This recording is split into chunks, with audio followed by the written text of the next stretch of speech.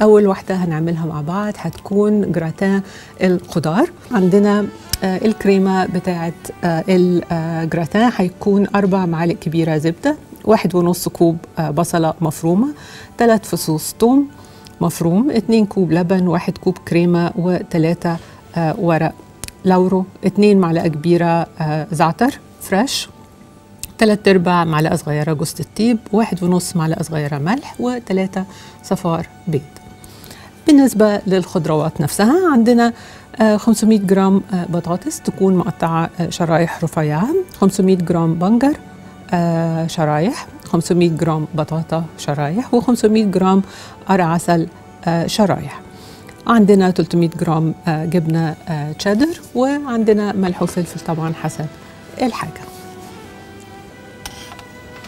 هنبتدي بالكريمة لأنها هتحتاج آه، تقعد شوية آه، مع البهارات والثوم والورق اللورو والبصل تاخد آه، طعم منهم وبعد كده هنصفيها وهنحط بس الكريمة من غير كل الحاجات اللي فيها آه، فوق الخضروات. هحط البصل مع الزبدة.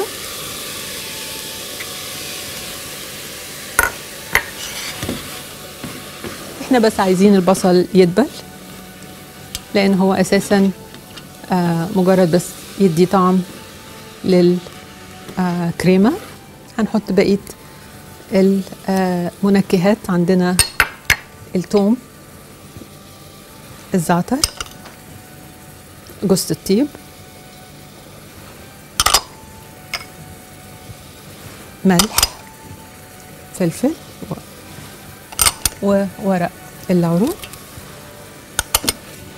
هنقلبهم مع بعض. okay. كده آه كفاية خالص. ونحط الكريمة.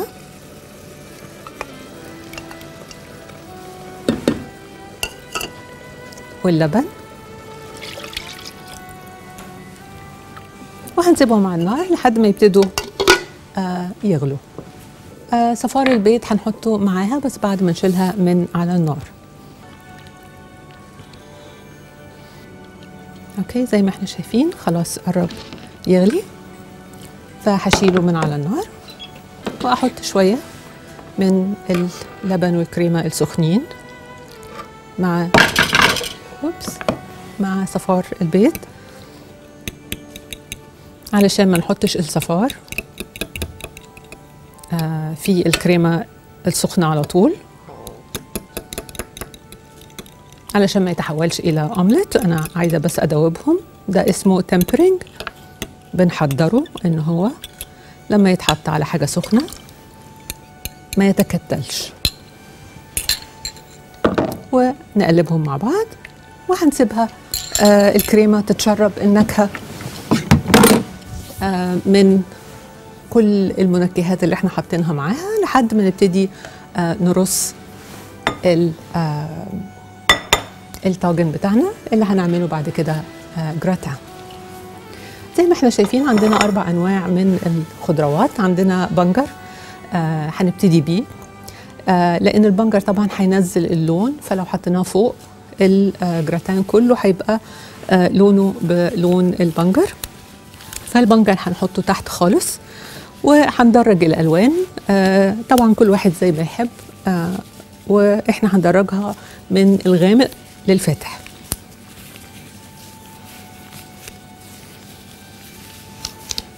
فهنبتدي نحط البنجر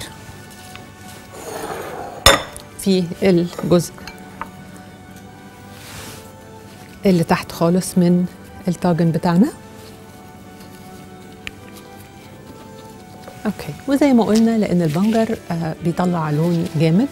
هنحاول نخلي اللون على قد ما نقدر. آه يقف عنده أو على الأقل في الطبقة اللي فوقه على طول بإن إحنا هنحط جبنة لإن الجبنة دي لما هندخلها الفرن هتسيح فوق البنجر وممكن تعمل على قد ما نقدر طبقة عازلة عن بقية الطبقات علشان ما تتلونش كلها بلون البنجر. okay؟ ونحاول نغطي كده البنجر على قد ما نقدر. بالطبقة بتاعة الجبنة زي ما إحنا شايفين كده. okay؟ دلوقتي هنحط اللون اللي بعد كده. عندنا البطاطا لونها برتقاني. بعد كده طبقات الجبنة اللي فوق دول آه ممكن تبقى خفيفة لأن إحنا آه مش قلقانين إن حاجة منهم تطلع لون دول مش بيطلعوا لون فهنحط شوية جبنة. بعد كده القرع اللون الأفتح ونحط شوية جبنة كمان. وما نكترش جبنة في الطبقات دي علشان ما تبقاش آه الطاجن بتاعنا ما يبقاش مالح زيادة آه لأن الجبنة طبعا مليانة ملح. هي بس الطبقة اللي فوق البنجر. أهم حاجة. وآخر طبقة اللي هي طبقة البطاطس. ومتهيألي الأولاد برضو ممكن يتبسطوا عشان ألوان مختلفة ومتدرجة و... ويعني حاجة تبسطهم شوية وتخليهم يتقبلوا إن هم ياكلوا خضار آه، خصوصا خضار زي البنجر آه، وقرع العسل كمان مهم قوي. والبطاطا. فإن شاء الله كده الوصفات اللي هنعملها مع بعض تحببهم في أكل الخضار. okay. وهنحط آخر طبقة من الجبنة. okay.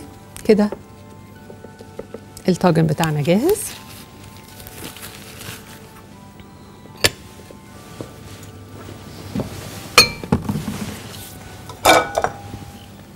دلوقتي هناخد الكريمة ونصفيها من المنكهات اللي فيها.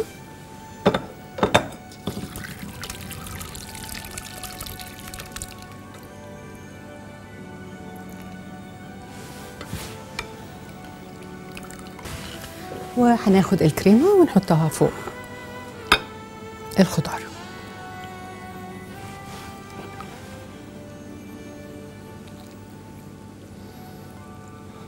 اللي مش عايز يستعمل كريمة أو لبن ممكن آه نحط آه مرقة. لكن طبعا الكريمة واللبن بيدوها طعم آه غني وإن شاء الله تعجبكم.